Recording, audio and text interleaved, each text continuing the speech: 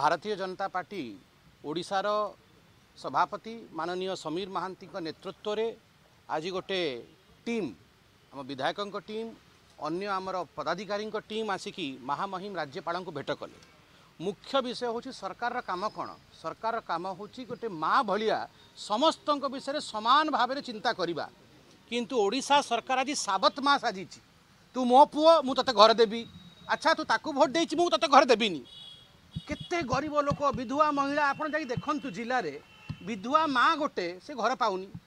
ତାର ଫନିରେ ଘର ଉଡ଼ି ଯାଇଛି କିନ୍ତୁ ତାକୁ ଘର ଦିଆ ହେଉନି କାହିଁକି ଦିଆ ହେବନି ସେ ପ୍ରଶ୍ନ ଆଜି ଗୋଟେ ବିଧବା ମା ପଚାରୁଛି ପ୍ରତ୍ୟେକ ଡିଷ୍ଟ୍ରିକ୍ଟରେ ଆପଣ ଦେଖିବେ ବିଧବା ମାଟିଏ ବସିଥିବ ଘର ତା ଘର ନଥିବ ତାକୁ ପ୍ରଧାନମନ୍ତ୍ରୀ ଘର ଦେବା ପାଇଁ ଚାହୁଁଛନ୍ତି। ନରେନ୍ଦ୍ର ମୋଦିଙ୍କ ସ୍ୱପ୍ନ କେମିତି ପୂରଣ ହେବ? ଦୁଇ ହଜାର ବାଇଶରେ ସମସ୍ତଙ୍କ ମୁଣ୍ଡ ଉପରେ ଛାତ କେମିତି ଆସିବ? ତାହା ପାଇଁ ନରେନ୍ଦ୍ର ମୋଦି ଶୋଉନାହାନ୍ତି ରାତିକୁ କିନ୍ତୁ ଏଠି ଓଡ଼ିଶା ସରକାର ସାବତମା ସାଜିକି ଗରିବ ଲୋକଙ୍କୁ ତାଙ୍କର ଅଧିକାରରୁ ବଞ୍ଚିତ ରଖୁଛି ସେଇ ଅଧିକାର ଲଢ଼େଇ ଲଢ଼ିବା ପାଇଁ। ଆଜି ଓଡ଼ିଶାର ସମସ୍ତ ନେତୃବୃନ୍ଦ ଆସିକି କୁ କହିଲେ ମାହି ମହିମ ମଧ୍ୟ ବହୁତ ଦୁଃଖିତ ହେଲେ ବିଷୟକୁ ଜାଣିକି ସେ ପୁରା ବିଷୟକୁ ନେଇକି ସଂଜ୍ଞାନ ନେଇଛନ୍ତି ଆଉ ଆମକୁ ଆଶ୍ୱସ୍ତ କରିଛନ୍ତି। ଏ ବିଷୟର ଗଭୀରତାକୁ ଦେଖିବେ ଆଉ ଆ ବିଷୟରେ ଟିପ୍ପଣୀ ମଧ୍ୟ ଆଗ- ଆଗାମୀ ଦିନରେ କରିବେ।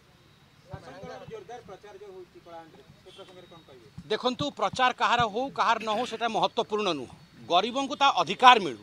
ଗରିବଙ୍କୁ ଅଧିକାରରୁ ବଞ୍ଚିତ ରଖିଲେ ଯେଉଁମାନେ କରପସନ୍ ବିରୁଦ୍ଧରେ ତାଙ୍କର ଭଏସ୍ଟାକୁ ଉଠେଇଲେ ତାକୁ ଆମେ ମର୍ଡ଼ର କରିଦେବେ ତାଙ୍କୁ ମାରିଦେବେ।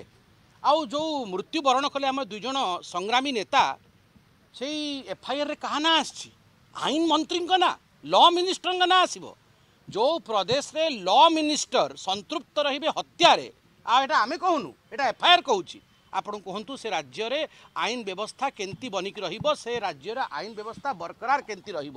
ସବୁ ମନ୍ତ୍ରୀ ଅରୁଣ ସାହୁ ଦେଖିଲା ବେଳକୁ ପରୀ ହତ୍ୟା କେସ୍ରେ ଏଠି ପ୍ରତାପ ଜେନା ଦେଖିଲା ବେଳକୁ ସିଏ ଗୋଟେ ହତ୍ୟା କେସ୍ରେ ସବୁ କ'ଣ ହେଉଛି ଏ ରାଜ୍ୟରେ?